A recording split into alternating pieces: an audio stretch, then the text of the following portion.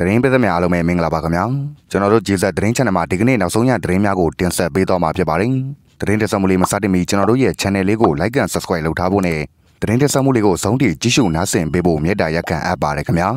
အခုတကပထမဆုံးတင်ဆက်ပေးခြင်းတဲ့သတင်းကတော့မုံမောင်းမြို့မှာရှိတဲ့စကောင်းစီတပ်သားများထွက်ပြေးသွားတာကြောင့်မြို့ကို KIA စတင်ထိန်းချုပ်တဲ့သတင်းကိုတင်ဆက်ပေးကြပါမယ်။ ကချင်ပြည်နယ်မုံမောင်းမြို့ကိုကချင်လွတ်လပ်ရေးတပ်မတော် KIA ကထိန်းချုပ်လိုက်ပြီဖြစ်တယ်လို့စစ်ရေးသတင်းရင်းမြစ်တအူးကအတည်ပြုပြောဆိုပါတယ်။မေလ9ရက်နေ့ကမုံမောင်းရဲစခန်းကိုသိမ်းပိုက်ပြီးတဲ့နောက်မြို့ပေါ်မှာရှိတဲ့စကောင်းစီတပ်များကို KIA ကဆက်လက်ထိုးစစ်ဆင်တိုက်ခိုက်ခဲ့ရာ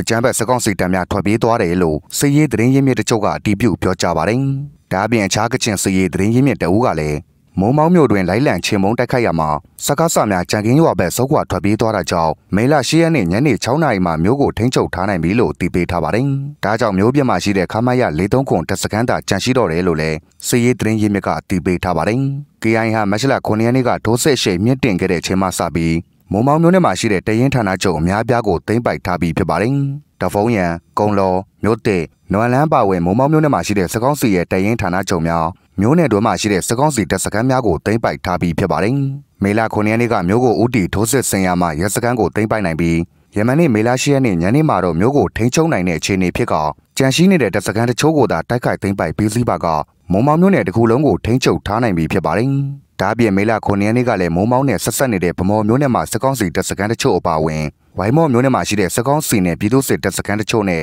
မန်စီရဲစခန်းတို့ကို KIA ကသိမ်းပိုက်ခဲ့ပါတယ်။ ဆက်လက်ပြီးထပ်မံတင်ဆက်ပေးခြင်းတဲ့သတင်းကတော့ခလာရ36ကဗိုလ်မှူးစိုးထက်အောင်ထွက်ပြေးတဲ့အမှုအတွက်ဗဟိုကင်းတာဝန်ကြားသူတွေဖမ်းဆီးစစ်ဆေးခံရတဲ့သတင်းကိုတင်ဆက်ပေးကြပါမယ်။ AR တိုင်းကျုံပြော်မျိုးနယ်ခြေဆိုင်အမှတ်36ခြေလျင်တရင်က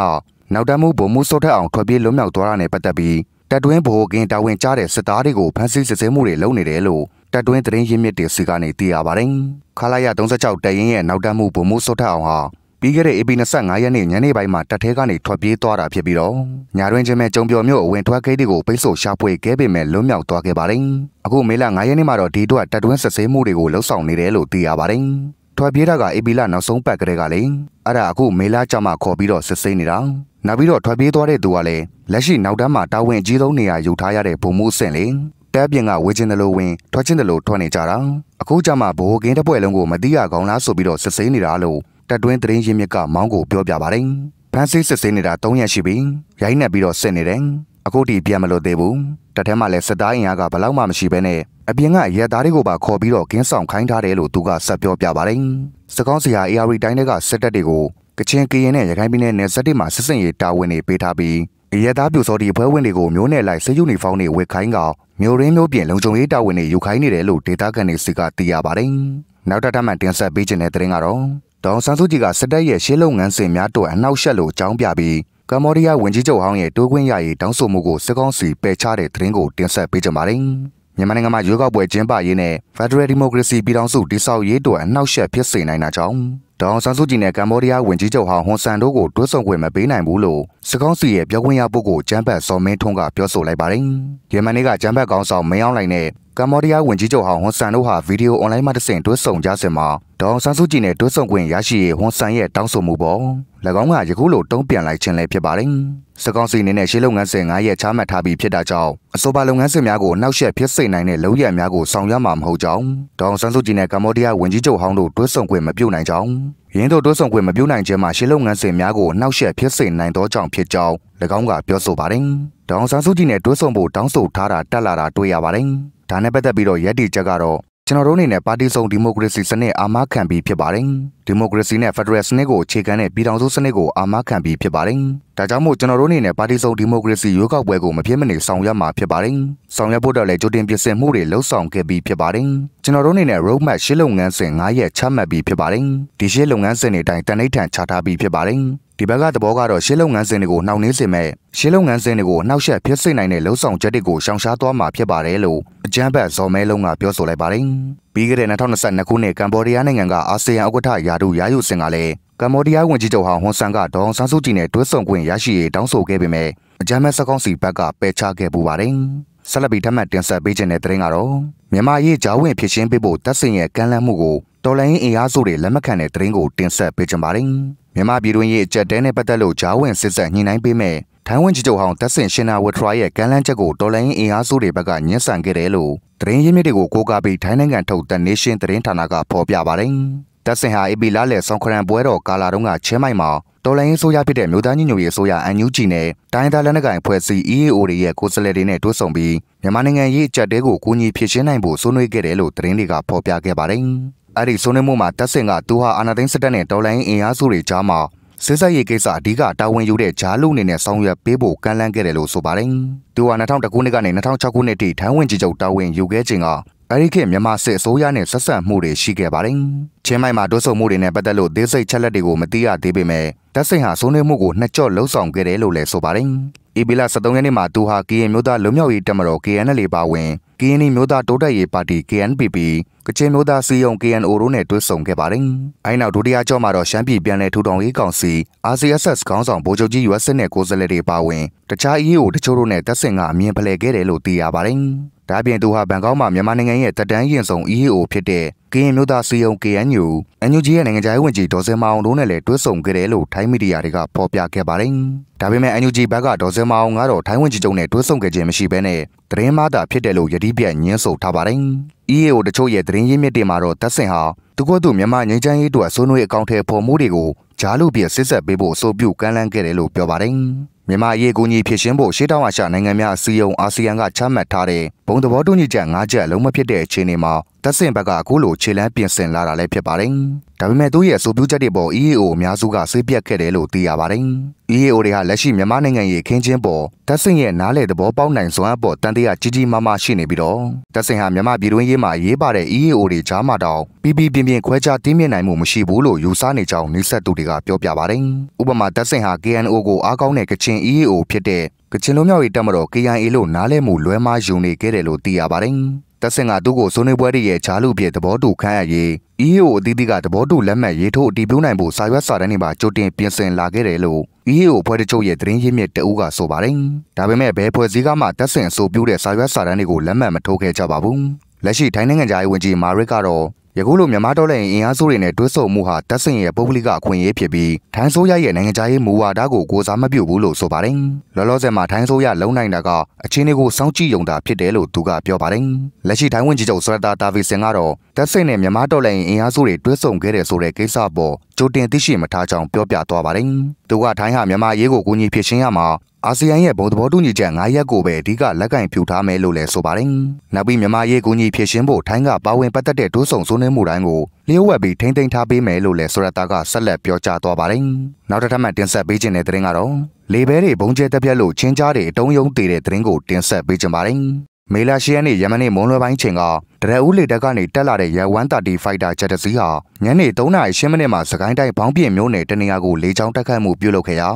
မြေပြင်မှာရှိတဲ့ချင်းကြားတက်အပေါ်တဲတဲကိုပေါင်900ဘုံတစ်လုံးပေါင်200ဘုံနှလုံးစုစုပေါင်းဘုံ3လုံးတိတိကိုကျဲချတက်ပြတ်ခဲ့တာကြောင့်မင်းအောင်နိုင်ရဲ့ကျွန်းစစ်သားချင်းကြားတွေတုံးယုံမသားပေါ်တည်ဆုံးခဲ့တယ်လို့သိရပါတယ်။ချင်းကြားတက်ဒီနေရာစီကနေလွန်လှပတဲ့မိโกလုံးကြီးတွေလိမ့်လိုက်လိမ့်လိုက်တက်လာတာကြောင့်တည်ဆုံးမှုဟာအလွန်များပြားနိုင်တယ်လို့ရှေ့တန်းသတင်းရင်းမြစ်ကအတည်ပြုပြောဆိုပါတယ်။နောက်တစ်ထပ်မှတင်ဆက်ပေးခြင်းတဲ့သတင်းကတော့နောင်ချုံမျိုးနဲ့မှာတိုက်ပွဲများပြင်းထန်နေပြီးတရကုန်းရွာစခန်းအားဆက်လက်ထိန်းချုပ်ထားတယ်လို့မန္တလေး PDF ကအတည်ပြုထားက စကောင်းစီကလေကြောင်းကနေဓာတုစိတ်တင်ဘုံတွေကျဲချတိုက်ခိုက်နေတယ်လို့မန္တလေး PDF ပြောဆိုတဲ့သတင်းကိုတင်ဆက်ပေးကြပါမယ်။ရှမ်းပြည်နယ်မြောက်ပိုင်းနောင်ချုံမြို့နယ်တရကုန်းကျေးရွာစခန်းအားပြန်လည်ရရှိဖို့အတွက်စကောင်းစီတပ်ကနေ့စဉ်အပြင်းထန်ထိုးစစ်ဆင်နေပေမဲ့လည်းအဆိုပါစခန်းအားအပြည့်အဝထိန်းချုပ်ထားဆဲဖြစ်တယ်လို့ပြည်သူ့ကာကွယ်ရေးတပ်မတော်မန္တလေး MDY PDF ကယမနေ့မေလ10ရက်နေ့မှာထုတ်ပြန်ပါတယ်။စကောင်းစီတပ်ရဲ့စစ်တပ်ကတော် DSC ရှိတဲ့ပြည်ဦးလင်မြို့နယ်ဆယ်မိုင်ခန့်သာကွာဝေးတဲ့တရကုန်းစခန်းကိုမန္တလေး PDF က AB 15ရက်နေ့ကလေးကသိမ်းပိုက်ထိန်းချုပ်ထားခဲ့ရာအဆိုပါစခန်းပြန်လည်ရရှိရတဲ့အတွက်စကောင်းစီကမြေပြင်အင်အားအလုံးရင်းနဲ့သာမကလက်နက်ကြီးပစ်ကူများလေကြောင်းပစ်ကူများနဲ့ပါအပြင်းထန်ထိုးစစ်ဆင်နေတယ်လို့မန္တလေး PDF ကထုတ်ပြန်ပါတယ်။ တရကုန်းကျေးဝအနေတိုက်ပွဲများတွင်စကောင်းစီတပ်ကလေကြောင်းကနေဓာတုစိတ်တင်ဘုံတွေကျဲချတိုက်ခိုက်ခဲ့တယ်လို့မန္တလေး PDF ရဲ့ပြောရေးဆိုခွင့်ရှိသူကိုအော့စမွန်ကပြောပါတယ်။တရကုန်းကျေးဝအနေမှာတိုက်ပွဲများပြင်းထန်နေရမှာယမနေ့မေလ10ရက်နေ့ညနေ3နာရီခွဲခန့်ကစကောင်းစီဘက်ကနေဓာတုစိတ်တင်ဘုံတွေကျဲချတိုက်ခိုက်ခဲ့တယ်လို့မန္တလေး PDF ကသတင်းထုတ်ပြန်ထားပါတယ်။အဆိုပါဓာတုစိတ်တင်ဘုံများကြောင့် PDF တပ်ဖွဲ့ဝင်တို့မိုးဝေအော်အန်ချင်းဝေဒနာများခံစားခဲ့ရတယ်လို့ကိုအော့စမွန်ကပြောပါတယ်။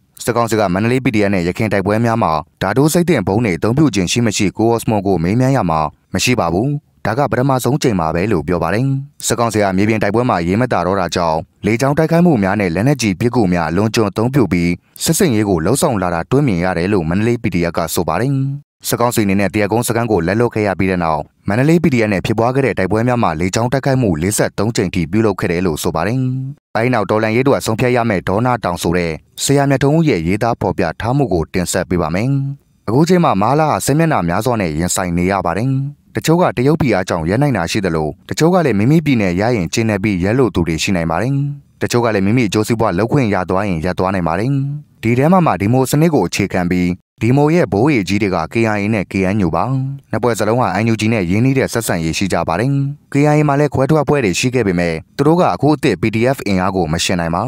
လက်နက်ပိုင်းမှာလည်းမြောက်ပိုင်းမှာကလက်နက်ထုတ်လုပ်နိုင်စွမ်းပိုပါတယ်တောင်ပိုင်းကတော့ပြည်ပနဲ့ဓာတ်ရိုက်ဆက်သွယ်နိုင်ပြီး NUG ရော KNU ကိုပါနောက်ကပါနဲ့ဆက်သွယ်ပေးနိုင်ပါတယ်ဒါကြောင့်မာလာဟာကချင်ရခိုင်နဲ့ကရားကရင်နီမှာဆက်ရှုံးနေပေမဲ့ကရင်ကိုသာမဲတိုင်နေတာကိုတွေ့ရမှာပါ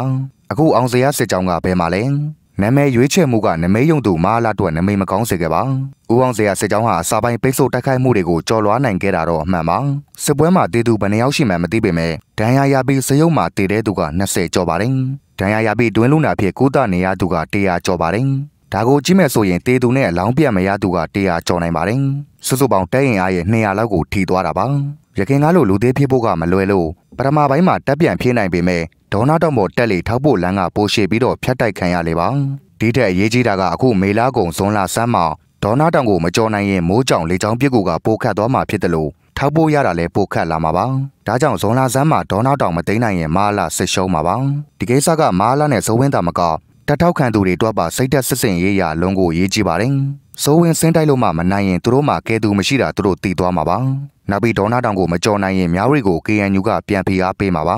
နောက်ပြီးမာလာတက်လန်သွားရင်ကော့ကရိတ်ခွင်ကလည်းကြာကြာစထိန်ထားဖို့ခံမှာပါ။မြားရီကလည်းထိုးချင်းမှမာလာတက်ကပြန်ဆုပ်ရမှာပါ။မြားရီကြရင်စိတ်တက်ရမာလာတက်ကြာသွားမှာဖြစ်ပြီးထိုင်းကတဆင့်မာလာကိုဖြေရှာဖို့ဖီအားကယခုတက်ပိုတိုးလာမှာပါ။နောက်မြောက်ရီကတဆင်လဲနောက်စုကထောက်ပံ့ပြရပါတော့မယ်။ရခင်ကလို့ယူကြီးအောင်ဆောင်ဖို့ခတ်သွားမှာပါ။မြောက်ရီကိုကရန်ညုထံကြာသွားခဲ့ရင်တရုတ်ကအမေရိကန်ကိုဝင်မကူအောင်သူ့လူနေရများများရအောင်ရှမ်းမြောက်ကပြန်ဆလာနိုင်ပါတယ်။ဒါကြောင့်မာလာအတွက်ဖီအားကပိုကြီးလာမှာပါ။ ဒီတက်ကြီးတာက KIA ကကချင်ပြည်နယ်တစ်ခုလုံးနှိပါတင်းလာနေပြီးတော့ကချင်ကနေအောက်ဆင်းလာရင်မာလာနေနဲ့အင်မတန်ထင်းရခတ်သွားမှာပါမာလာတက်ကသခိုင်းမကွေးဒေတာတချို့မှာရန်ကားနေနိုင်တာကငကားလိုပွဲတွေက NUG အောက်မှာရှင်းမနေပဲကွဲနေလို့ပါ။နေမြေထိဆက်လာပြီးလက်နဲ့ထောက်ပံ့လာနိုင်ရင်လူသူအင်အားရှိပြီးသားညာဒေတာဟာမာလာအတွက်စစ်ရှုံးဒေတာဖြစ်မှာပါ။ဒါကမာလာတဲ့ဒေါနာတောင်ကိုမကြော်နိုင်လဲ KIA စစ်နိုင်နေတာကိုမာလာကထိမ့်မြတာကိုပြောပြတာပါ။ ဒေါနာတောင်လဲရှုံကချင်လဲစစ်ရှုံးဆိုရင်တော့မာလာတက်ကမီအေးနှခါနာပါအချင်းချုံရရင်တော့ဒေါနာတောင်ဟာတော်လန်ရေးဘလောက်မြန်မလဲဆိုတာဆုံးဖြတ်ပေးမှာပါတော်လန်ရေးကအနိုင်လန်းကိုရောက်နေပါပြီခရီးမြတ်မမြန်ပြည်သူကသာဆုံးဖြတ်သွားမှာပါလို့ပြောပြရစေ